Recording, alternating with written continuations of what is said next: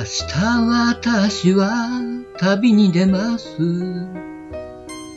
あなたの知らない人と二人で、いつかあなたと行くはずだった。春まだ浅い信濃路へ。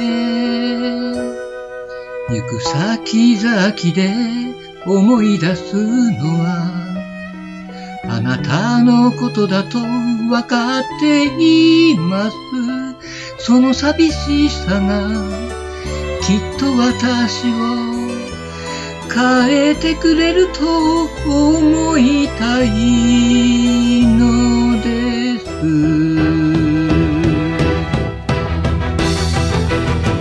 さよならはいつまで経ってもとても言えそうにせん私にとってあなたは今も眩しい一つの青春なんです。8時ちょうどのあずさ2号で。私は私はあなたから旅立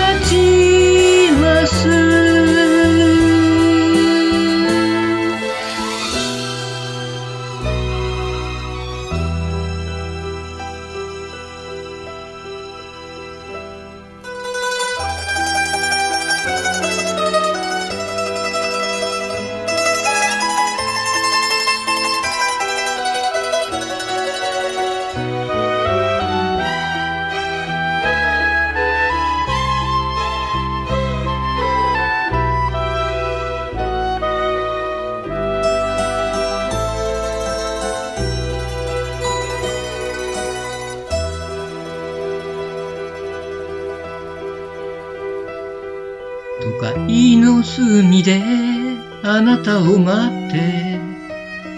私は季節に取り残された。そんな気持ちの中の焦りが。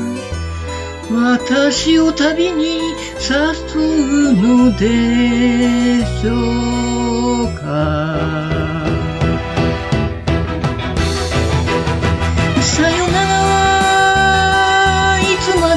ってもとても言えそうになりません。こんな形で終わることしかできない私を許してください。8時ちょうどのあずさ2号で私は私はあなたから旅立ちます。